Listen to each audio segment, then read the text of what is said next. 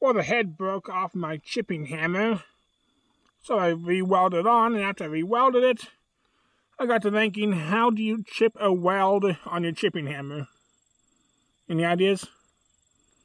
I'm going to swing this around off a lot until it finally hits itself.